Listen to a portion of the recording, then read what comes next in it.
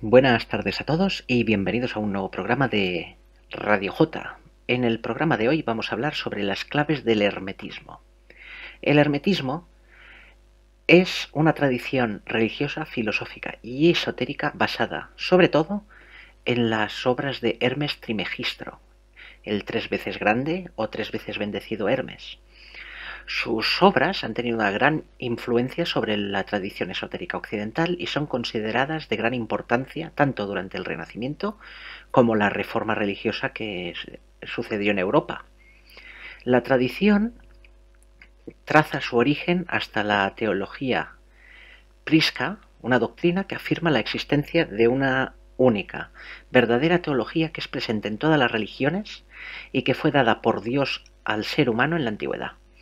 Muchos escritores, incluyendo, incluyendo Lactantius, Cipriano de Cartago, Marsilio Ficino, Giovanni Pico de la Mirandola, Giordano Bruno, Tommaso Campanella, Sir Thomas Brown eh, y Ralph Waldo Emerson, consideraron que Hermes Trimegistro era una especie de profeta pagano muy sabio que vio de muy lejos la venida de la cristiandad. Mucha de la importancia del hermetismo surge de su conexión con el desarrollo con la ciencia aproximadamente entre el 1300 y el 1600 a.C. La prominencia que se le dio a la idea de influenciar o controlar la natura, la naturaleza, lleva a muchos científicos a mirar hacia la magia de estas artes, y de ahí, por ejemplo, surgieron cosas como la alquimia o la astrología.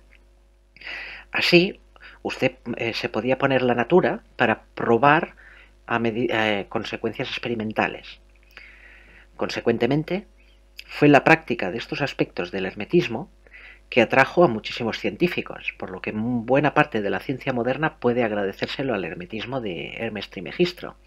Incluso Isaac Newton puso muchísima fe en el, en el concepto de una doctrina pura, no alterada, ancestral, la cual estudió vigorosamente para ayudar a incluso a su entendimiento del, mundo físico. Si nos lo pensamos bien, el la etimología del hermetismo viene de hermeticus, que viene del latín y que a su vez desciende directamente del dios griego Hermes. Se ha dicho desde el siglo XVII como eh, escritos herméticos, todas las obras que tienen que ver con el hermetismo. Los sinónimos de hermético también han sido han aparecido a lo largo desde a, lo largo y desde el siglo XVII. Cuanto a la filosofía, el hermetismo habla sobre todo de un Dios, un todo, un único, en el hermetismo, Dios es unitario y trascendente, y existe aparte del cosmos material. En el hermetismo se, habla sobre todo de una fe monoteísta en un término deístico y unitario. Desde el punto de vista filosófico se habla de un Dios trascendente o absoluto en el que los humanos y el universo entero participan, también se dice que la idea de otros seres como los ángeles elementales, etc., existe en el universo. Parte de la filosofía primordial del hermetismo se basa en una serie de acepciones, siendo la primera la prisca teología. Eso significa que la doctrina de que una única y verdadera teología existe y que ésta está en absolutamente todas las religiones y que ésta fue dado por Dios a la humanidad en la antigüedad. En orden para demostrar esta prisca teología, esta doctrina, los cristianos se apropiaron de las enseñanzas herméticas para parte de, sus propósitos. Así, mm, para muchos padres de la iglesia cristiana, Hermes Trismegistus era un contemporáneo de Moisés, de Enoch, de Noé, etcétera, etcétera, etcétera. Otra de las premisas filosóficas más importantes es, así como es arriba, es abajo. En esta máxima se dice, todo lo que por debajo corresponde a todo como es arriba, y todo lo que está arriba corresponde con todo lo que está abajo para cumplir con el milagro del único. Es decir, que a pesar de lo que pase en cualquier nivel de la realidad física, emocional o mental, también sucede en todos los otros niveles. Este principio, de todas formas, es más, más usado para hablar de un macrocosmos y de un macrocosmos. El microcosmos en sí mismo y el macrocosmos en el universo en sí. Así, el macrocosmos es como es en el microcosmos y viceversa. En cada uno está el otro y a través del entendimiento de una, una persona puede entender el otro. Sigamos, siguiente acepción. Las tres partes de la sabiduría de la totalidad del universo. Según el hermetismo, hay eh, como tres, tres, maneras o tres, eh, eh, tres ciencias para determinar la, la, totalidad del universo. La primera es la alquimia, que se pone como el funcionamiento del Sol porque en la alquimia no es solamente cambiar el plomo en oro, es una investigación en la constitución espiritual o de la vida de la materia y la existencia material a través de la aplicación de los misterios del nacimiento, la muerte y sobre todo la resurrección. Entre las muchas etapas químicas están la destilación o la fermentación, entre muchos otros procesos. Y esto hace que se pueda trabajar con los procesos naturales para tal de llevar al cuerpo natural a la perfección. En todo caso, para llegar al magnum opus, el gran trabajo.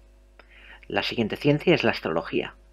Hermes dijo que Zoroastro descubrió esta parte de la sabiduría de la totalidad del universo, la astrología, y la enseñó al ser humano.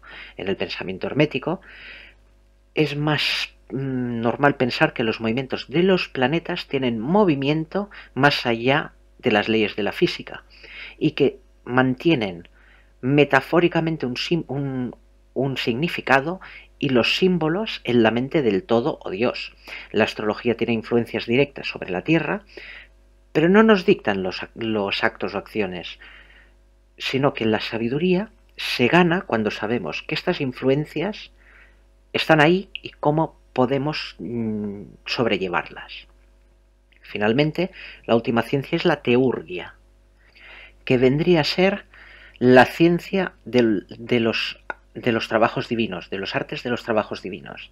Y hay dos, Goetia, magia negra, que trata de llevar como una especie de, de pacto con seres malignos, por decirlo así, y la segunda es la teurgia, la teurgia es magia divina que nos hace tener como alianzas con espíritus divinos, es decir, ángeles, arcángeles, dioses, etc. Esas son las tres grandes ciencias del hermetismo. Luego hay una gran obra, que es el Kybalión, que supuestamente fue escrito por tres sabios que prefirieron, prefirieron pasar al anonimato, y tiene siete principios. Para mí es la mayor obra que hay para entender el hermetismo. ¿De acuerdo? Los siete principios son los siguientes. El primero es el mentalismo. Eso significa que el todo, Dios, es mente. El universo es mental. El todo es el conjunto totalizador. No hay nada fuera del todo. El segundo punto, ya lo hemos hablado antes, es la correspondencia. Como es arriba, es abajo. Como es adentro, es afuera. Afirma que este principio se manifiesta en los tres grandes eh, planos, el físico, el mental y el espiritual. El tercero es la vibración. Nada está inmóvil. Todo se mueve, todo vibra. Si pensamos en esto, veremos que muchos de los trabajos actuales de física cuántica e incluso de física trabajan mucho a través de varias teorías sobre este, este apartado, el tercero. Cuarto, la polaridad. Todo es doble, todo tiene dos polos, todo su par de opuestos. Los semejantes y los antagónicos son lo mismo. Los opuestos son idénticos en naturaleza, pero diferentes en grado. Los extremos se tocan. Todas las verdades son medias verdades. Todas las paradojas pueden reconciliarse. Esto, como ya ven, es una máxima que es compartida en prácticamente todas las religiones del mundo. E incluso más aún, pueden ustedes hacer una pequeña reflexión sobre el taoísmo y verán que todas estas máximas, de alguna forma, aparecen en un sitio y, u otro y se reflejan constantemente a lo largo de la filosofía humana, la, la religión humana, y sobre todo han ido influenciando trabajos modernos. El quinto principio es el ritmo. Todo fluye y refluye. Todo tiene sus periodos de avance y retroceso. Todo asciende y desciende. Todo se mueve como un péndulo. La medida de su movimiento hacia la derecha es la misma que la de su movimiento hacia la izquierda.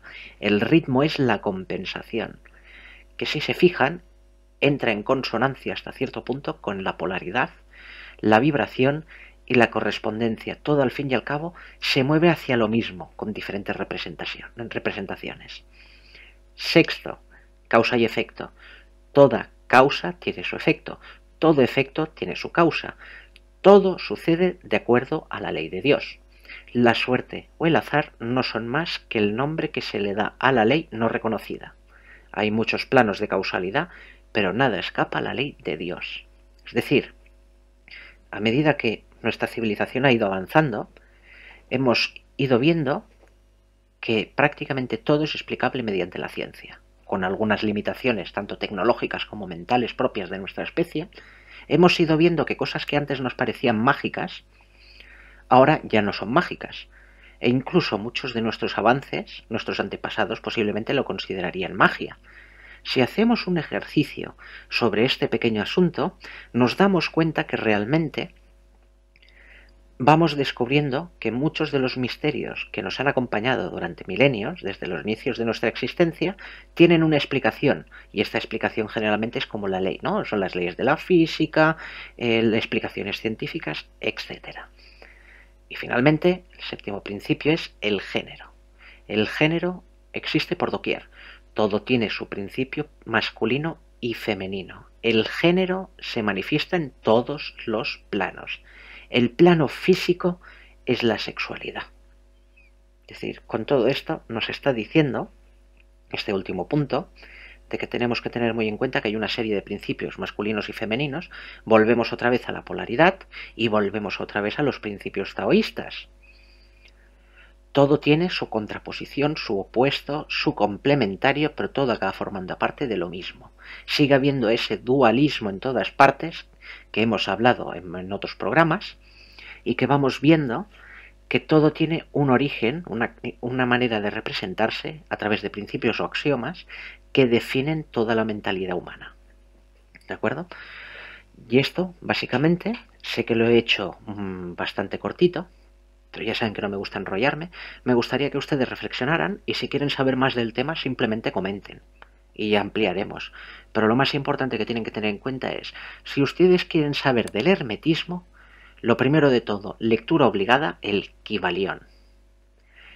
Si quieren más información, deben aprender del gran maestro. Y el gran maestro en este caso es Hermes Trimegistro. Busquen sus obras, lean sobre su vida, sepan quién fue, y a partir de ahí encontrarán muchos símbolos y muchas cosas que les van a sorprender. Dicho esto, como siempre, muchas gracias por escucharme y que tengan una feliz tarde. Muchísimas gracias por escuchar este programa. Si le interesa, puede usted suscribirse, darle un me gusta o incluso compartirlo en redes sociales o por otros medios. Gracias por adelantado por su tiempo dedicado a escuchar este programa.